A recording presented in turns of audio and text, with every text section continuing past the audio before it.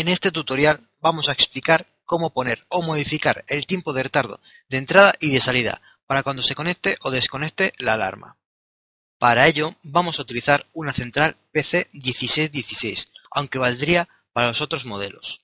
Un teclado RFK 5500 con el cual haremos la programación y la programación por software la haremos por el software DLS5.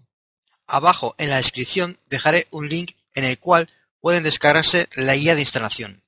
Vamos a hacer la programación de dos formas. Primero por el software DLS5 y después por el teclado, para que vean las dos posibilidades de configuración.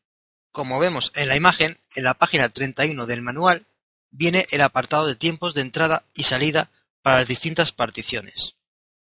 Bueno, aquí como podemos ver estamos ya conectados a la PC 1616. Nos vamos donde pone particiones. Y aquí en particiones en la partición 1, aquí tenemos todas las particiones, en la partición 1 nos vamos a poner opciones. Y aquí vemos la, el tiempo de entrada 1 y el retardo de salida. Y el tiempo de entrada 2. Aquí vamos a poner 20, ¿de acuerdo? Y aquí 20, ¿vale? Y ahora con esto vamos a mandar la información a la central.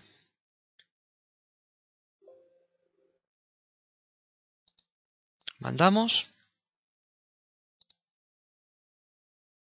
¿Vale? Y ahora ya estaría cambiado en la central el tiempo de entrada y el tiempo de salida. Y así es de fácil. Ahora haremos la misma configuración por el teclado. Y para ello entraremos en las siguientes secciones. Sección 005. Tiempos de entrada-salida de la partición 1. Pondremos 020. Retardo de entrada 1. 0.45 retardo de entrada 2 y 0.20 retardo de salida. Bueno, aquí tenemos el teclado, vamos a hacer la configuración y vamos a entrar en programación que sería asterisco 8 y 45 que es el código de instalador de fábrica. Vale, ahora entramos a la sección 005, ¿vale? Y adentro de la sección 005 vamos a la sección 01, ¿vale? Y aquí ya tenemos que este es el tiempo de entrada. Vamos a poner 0.20, ¿vale? Este es el tiempo de retardo de entrada 2. Este lo vamos a dejar como está, 0.45. Y este es el tiempo de retardo de salida. En este caso vamos a poner también 0.20. ¿Vale? Y ahora ya estaría programada la opción 1, que serían los tiempos de entrada y de salida.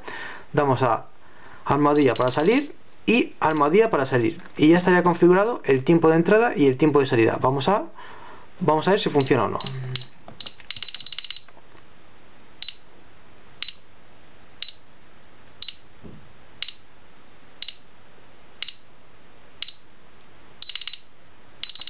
Aquí tenemos que son 20 segundos y está sonando 20 segundos. Con lo cual funciona perfectamente. Vamos a desconectar la alarma. Bueno, tengo conectada la alarma y ahora vamos a probar el tiempo de entrada a ver si funciona. Voy a apuntar a zona 1 y aquí tengo el tiempo de entrada, que son 20 segundos.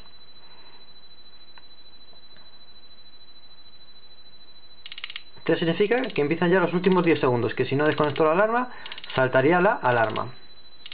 Con lo cual, el código para desconectar la alarma.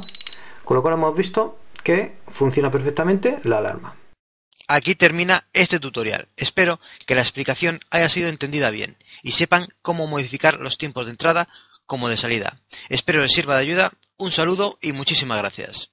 Si quieres saber más sobre seguridad electrónica, suscríbase a este canal o visite nuestra página web o de Facebook, Seguridad Electrónica y algo más, donde continuamente ofreceremos información sobre esta área, que puede ser de su interés. Espero les sirva de ayuda, un saludo y muchísimas gracias.